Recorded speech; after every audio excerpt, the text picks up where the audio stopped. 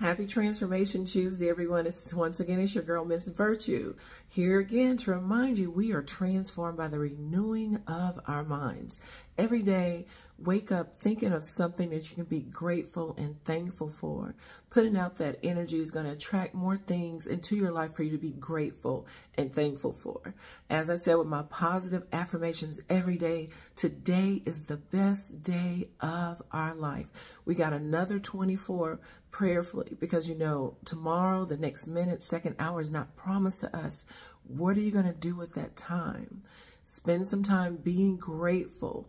Find something that's going to improve your mind, feed your mind, and help you to grow and elevate as a person.